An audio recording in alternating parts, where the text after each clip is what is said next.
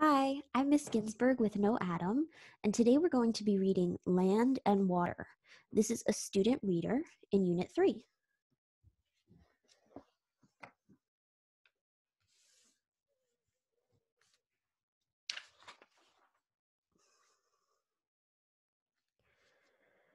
Mapping the surface. Mapping Alaska. Alaska is a state in the United States. It is more land than any other state. Alaska is remote. This means that it is far away from the rest of the United States. Not many roads connect Alaska to the rest of the country. Some places in Alaska can only be reached by helicopter. So here's a map of North America, and here's Alaska. It is hard to make accurate maps of Alaska because it is so remote. A map is a drawing or other model of an area of Earth's surface. Maps are important because they give different kinds of information about a location. There are different kinds of maps. One kind of map shows the landforms of a specific area. A landform is a natural feature on Earth's surface. Mountains are landforms. Dunes are landforms. Hills and valleys are also landforms.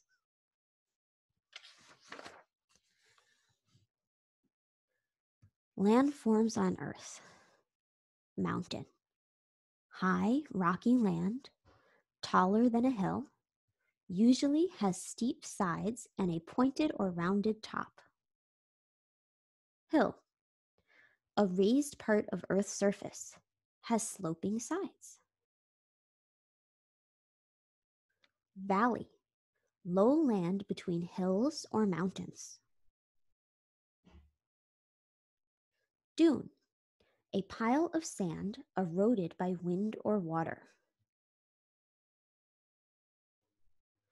In addition to landforms, there are also different bodies of waters on Earth's surface. A body of water is a part of Earth's surface that is filled with water. The ocean is the largest body of water on Earth. It is made up of salt water.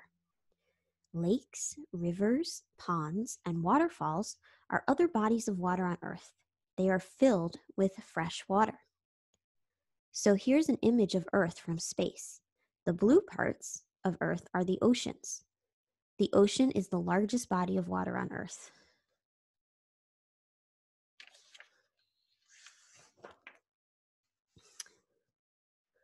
Bodies of water on Earth. An ocean covers most of Earth's surface, largest body of salt water on Earth. River, a large stream of fresh water, flows over the land into a lake, ocean, or other body of water. Lake, a large body of water, fresh water surrounded by land. Waterfall, a place where running water flows over a cliff or other steep drop. Paul Morin is a scientist. He worked with other scientists to make new maps of Alaska. These new maps are very detailed. They show individual trees. They also show lakes, roads, and buildings. These maps are also three dimensional. This means that the maps aren't flat. They take up air space. They are called three dimensional because they have three parts. They have length, width, and height. Solid objects are all three dimensional. So this box is three dimensional because it has length, width, and height.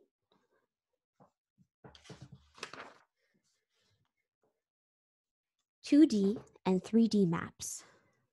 Most maps are two dimensional, 2D. This means they are flat. They have two parts, length and height. They don't have width. This means they have no thickness. Drawings on paper are two-dimensional.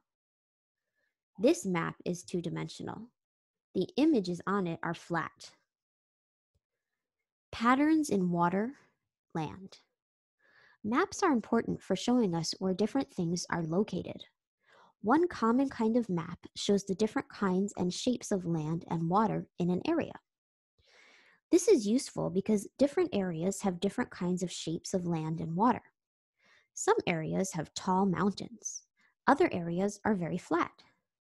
Some areas have many lakes or rivers. Other areas have little to no water. This area has many rivers and lakes.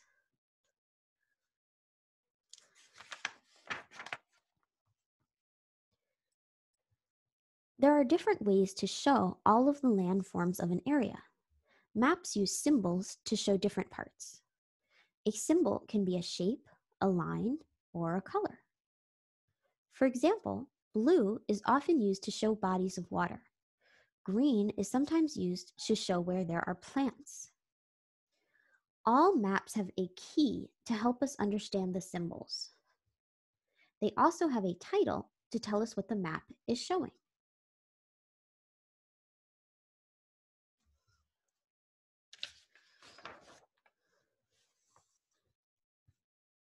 Water on Earth. Earth from space. There are cameras far above Earth.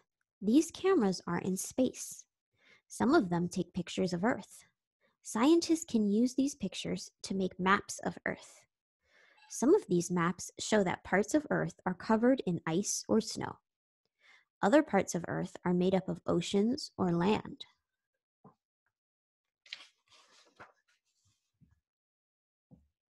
Solid water. Ice and snow are both made of water. They are solid forms. Remember that one property of matter is whether it is a solid, a liquid, or a gas. Solids have their own shape. They keep this shape until something changes them by force. The picture on the left shows ice. The picture on the right shows a girl holding snow. Both ice and snow are forms of solid water. Liquid water. Oceans, rivers, and lakes are liquid water. Rain is also liquid water.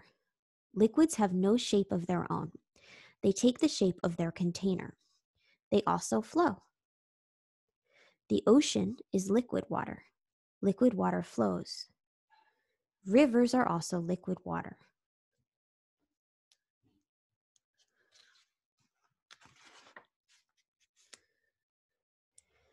When it rains, liquid water falls from the sky to the ground. It is pulled down by gravity. Gravity is a force that pulls things toward each other. Earth's gravity pulls all things down towards Earth's center. Think about throwing a ball in the air. It always falls back to the ground because of gravity. When rain falls to the ground, some of the water soaks into the ground. The rest of it begins to flow downhill over the land. This means it moves from high places to low places. Gravity pulls liquid water downhill. This is how rivers and streams form. The land is often uneven. Some parts of the land form bowl like areas called basins. When water flows into a basin in the land, it collects there. This is how lakes and ponds form. Water flows downhill over the land. It collects in lakes like this one.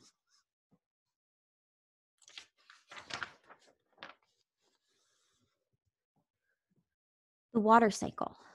Water on Earth doesn't always stay in the same form. Like all matter, water can change from a solid to a liquid or from a liquid to a gas.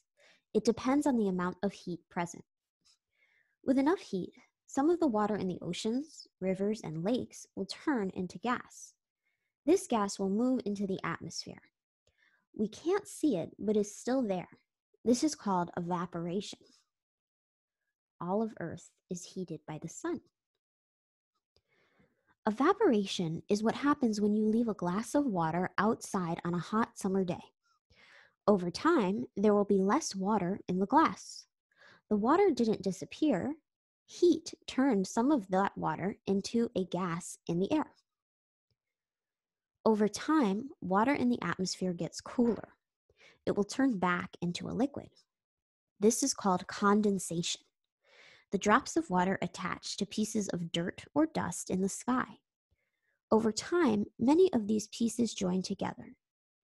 This forms a cloud.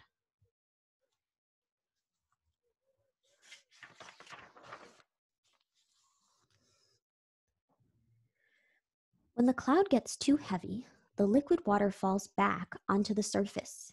It can be either rain or snow. This is called precipitation. After it rains, some of the water soaks into the ground and is stored there. Some of the water is stored in lakes, rivers, and oceans. In cold parts of Earth, some of the water is stored as solid ice and snow. This is called collection. Water collects in rivers, lakes, and ocean. It also collects as snow and ice. Not all parts of Earth store water as ice or snow.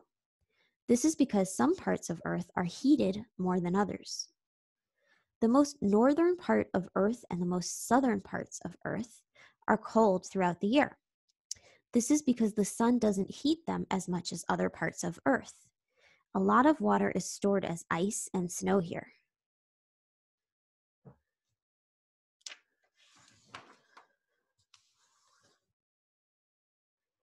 The tops of mountains also often store water as ice and snow.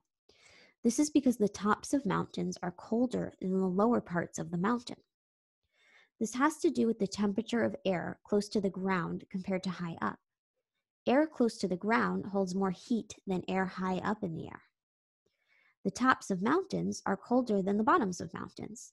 This is why snow and ice are often found on mountain tops. When temperatures warm up, some of that ice melts.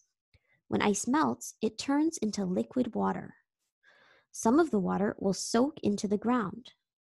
Gravity pulls some of the liquid water downhill. Some of it will collect in lakes or oceans. Some of it will evaporate. Water is always moving around the planet. It changes between a solid and a liquid, and between a liquid and a gas. It also moves over the land. This movement is part of the water cycle.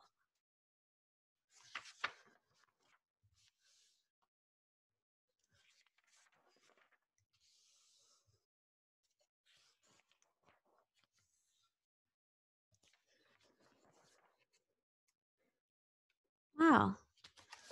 I learned a lot reading Land and Water, and I had fun too. I hope that you learned a lot and that you had fun also. I'll see you tomorrow with another book. Bye.